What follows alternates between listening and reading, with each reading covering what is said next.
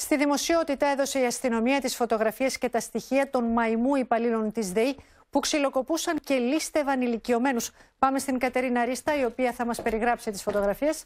Τα στοιχεία τους λοιπόν, Μάρα, δίνονται στη δημοσιότητα, καθώς αν υπάρχουν και άλλα θύματα να το καταγγείλουν στις αρχές. Τα πέντε λοιπόν πρόσωπα που βλέπουμε είναι τα, μέλη, τα πέντε μέλη της εγκληματικής οργάνωσης που προσποιούνταν είτε τους υπαλλήλους της ΔΕΗ, είτε λοιπόν τους ε, συντηρητές των Ασανσέρ, εισέβαλαν στα σπίτια των ηλικιωμένων, άρπαζαν ό,τι έβρισκαν μπροστά τους. Αν μάλιστα τα θύματα αντιστέκονταν, τα ξυλοκοπούσαν κιόλας ε, βάναυσα. Η συνολική τους ε, λία ξεπερνά τις 200.000 ευρώ έχουν, ε, κατηγορούνται για 19 ληστείες και 5 κλοπές, Μάρα. Ευχαριστώ, Κατερίνα.